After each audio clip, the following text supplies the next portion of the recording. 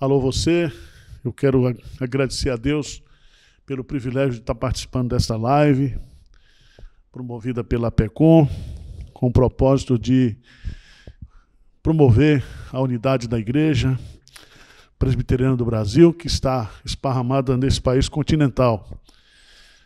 E eu tenho a honra e o privilégio de falar sobre a igreja do Nordeste, né?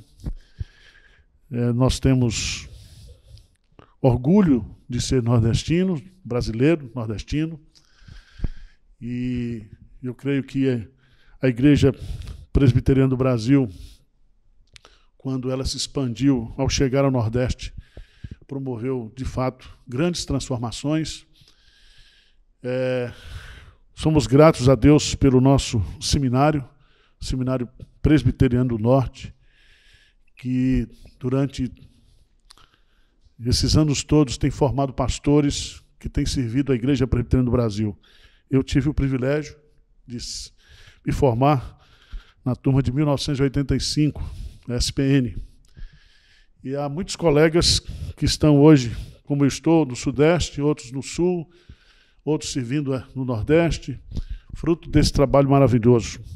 Não podemos deixar de falar dos, dos colégios 15 de novembro, Colégio Agnes Erskine, e de toda a influência que, esses, que esse trabalho, que essa educação presbiteriana teve na vida das pessoas aí no Nordeste. Temos também o Instituto Bíblico do Norte, lá em Garanhuns, Garanhuns, que é conhecido historicamente como Antioquia Pernambucana. Foi de lá que os missionários é, se esparramaram ou levou a mensagem do Evangelho para toda a região, alcançando até o norte do país. Eu quero compartilhar com vocês o texto da palavra de Deus que está aqui em Atos, capítulo 2, versículo 42. Diz assim a palavra de Deus: E perseveravam na doutrina dos apóstolos e na comunhão, no partir do pão e nas orações. O grande desafio que a Igreja Presbiteriana do Brasil tem, uma igreja histórica, é manter as suas raízes bíblicas, a sua herança reformada, mas ao mesmo tempo enfrentar os desafios das novas gerações. Eu creio que assim como o, Brasil, o mundo foi preparado para que Jesus Cristo nascesse, com o grande, a grande influência romana, do poder político romano, também a influência da cultura grega, e todas as condições, como diz lá em Gálatas capítulo 4, na plenitude dos tempos, Jesus veio. O mundo foi preparado para o nascimento de Jesus. Anos mais tarde, no século XVI, nós tivemos um grande movimento de retorno às Escrituras Sagradas, promovido pelos reformadores. E também, naquele período, houve um, uma preparação na história do mundo, com a Renascença, com os descobrimentos dos novos continentes, as companhias marítimas, com a descoberta da imprensa. Né? Você sabe que quando Lutero ele eclodiu o movimento da reforma através da vida dele na Alemanha. A primeira coisa que ele fez foi traduzir a Bíblia, publicar a Bíblia e colocar a Bíblia, a Bíblia na mão do povo. Então houve um momento especial da história. Né? Eu creio que hoje nós estamos vivendo também um momento que eu chamaria de último capítulo missionário da igreja no mundo. Ah, um dos sinais da volta de Cristo, está né, tá lá em Mateus capítulo 24, versículo 15, é que o evangelho do reino será pregado a todas as nações, então verá o fim. Eu creio que nós estamos nesse capítulo da história. E o texto de Atos 2,42, vai nos ensinar algo precioso. porque esse padrão aqui, que aconteceu lá em Jerusalém, é o padrão bíblico que serve para a história da igreja em todas as épocas até a volta de Jesus.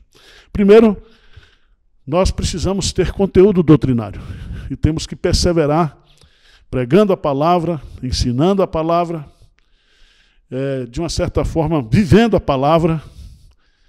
E nós não podemos abrir mão da sã doutrina, nós temos que perseverar na doutrina. A doutrina é o conteúdo da nossa crença, da nossa fé. E essa doutrina, uma vez por todas, foi entregue aos santos, para que nós possamos pregá-la.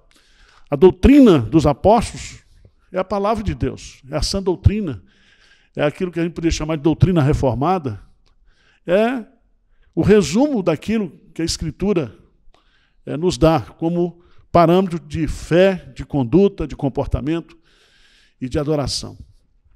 Outro aspecto importante é a questão da comunhão. Da comunhão. E quando o Espírito Santo veio, a comunhão foi criada. Todos nós fomos inseridos no corpo de Cristo, batizados pelo Espírito Santo, e de uma certa forma nós bebemos todos dessa mesma fonte. É aquilo que Jesus coloca lá em João 15, que nós estamos né, presos a Ele, fomos regenerados, fomos unidos, devemos permanecer nele, para que nós possamos frutificar também nele. A comunhão aqui, e é uma coisa necessária, nós não podemos criar a comunhão, mas nós podemos preservar a comunhão, como está lá em Efésios capítulo 4, que nós devemos com toda humildade, né, com toda perseverança, é, preservarmos a unidade do corpo de Cristo. Nós estamos vivendo dias assim de muitos conflitos, né? Vivemos assim uma espécie de Babel teológica, de Babel ideológica no mundo, então, nós não podemos permitir que essas influências de fora da igreja venham prejudicar a nossa comunhão. Mas diz também que a igreja perseverava na doutrina, na comunhão, no partir do pão. E aqui existem alguns que entendem que o partir do pão aqui é a Santa Ceia, é a comunhão da Santa Ceia. Outros entendem que o partir do pão aqui é o que está mais embaixo, que é o compartilhar a necessidade uns dos outros. É, não permitir que irmãos nossos, com quem nós convivemos e amamos, passem necessidade quando eu tenho mais do que o suficiente para mim mesmo. Então, o que eu vejo aqui é que essa igreja era uma igreja que tinha doutrina, uma igreja que tinha comunhão, criada pelo Espírito Santo, unidade, união, que essa igreja também tinha generosidade. Né? Esse partido pão aqui diz lá que vendiam as suas propriedades e bens, distribuindo o produto entre todos, à medida que alguém tinha necessidade. Era um só coração, um só sentimento. E não havia necessitados entre eles, como vai dizer Lucas mais adiante no texto de Atos capítulo 5. Mas eu quero concluir chamando a sua preciosa atenção para esse quarto aspecto aqui da, do, da, da, do comportamento da igreja, né? Da, da, necessidade da igreja, que é ir nas orações. E perseveravam na doutrina dos apóstolos, na comunhão, no partir do pão e nas orações. É, a maior prova de que alguém é regenerado, é convertido, é se essa pessoa tem uma vida de oração. A oração, ela é o oxigênio da vida cristã. A oração, ela é uma prática individual que nós devemos fazê-la. Entra no teu quarto, fecha a tua porta e fala com teu pai que está em secreto, e teu pai que está em secreto te recompensará. Mas aqui diz que eles perseveravam nas orações em pequenos grupos, em conjunto, igreja congregada, reunida para orar.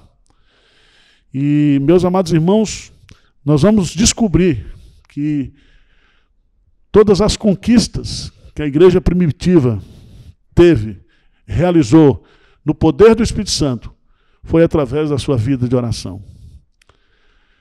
A oração, ela é o prato que acompanha todos os outros alimentos. Oração com pregação, oração com comunhão, oração com doutrina, oração com louvor. A oração né, deve estar presente em todas as nossas práticas, em toda a nossa maneira de viver. E se existe algo que nós precisamos nesses tempos difíceis hoje, e aí vem o grande desafio que nós temos.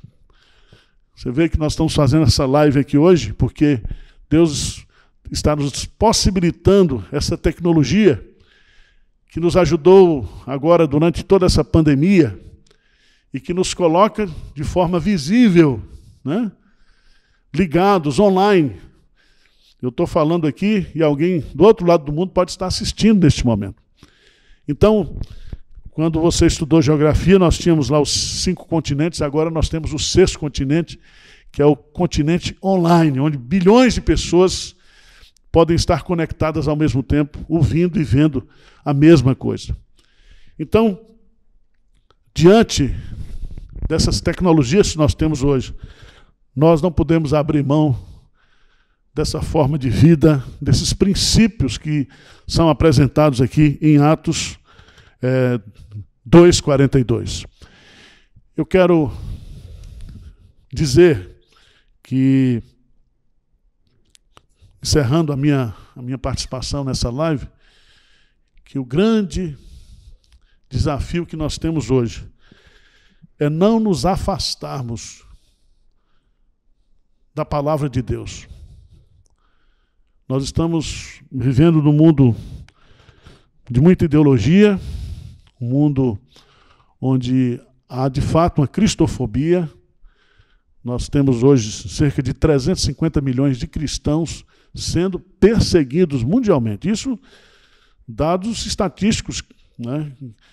deve ter muito mais, mas existe a perseguição aberta, como acontece lá na Coreia do Norte e em outros países. Mas eu queria chamar a sua atenção que nós, como presbiterianos do Brasil, nós devemos nos unir. E eu digo sempre, disse isso como participante da Junta de Missões Nacionais, que juntos, unidos, nós vamos mais longe e vamos mais rápido. Nós precisamos fazer parcerias, nós precisamos é, fortalecer os vínculos da nossa igreja. Eu creio que nós estamos também, do ponto de vista é, histórico denominacional, passando por esse momento onde as igrejas locais elas estão assumindo o seu papel na, no processo de evangelização. Né? Nós somos frutos de missões denominacionais. A Igreja Presbiteriana do Brasil Nasceu porque um missionário veio, enviado por uma denominação. Mas hoje, nós estamos vendo essa mudança de modelo, onde muitas igrejas locais estão sendo usadas por Deus para fazer a obra transcultural, para fazer a obra regional.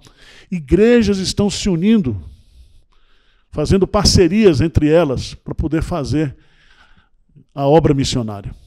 Então, parabéns a vocês da PECOM, parabéns você que é presbiteriano, de qualquer parte do Brasil, mas parabéns aos meus irmãos nordestinos, que a gente tem orgulho de ser nordestino, não temos nenhum complexo de ser nordestino, pelo contrário, nós nos alegramos pelo fato de Deus ter nos dado o privilégio de nascer nessa região tão abençoada por Deus que é o Nordeste brasileiro. Grande abraço para você, para sua família, para sua igreja. Muito obrigado, meus irmãos da PECOM.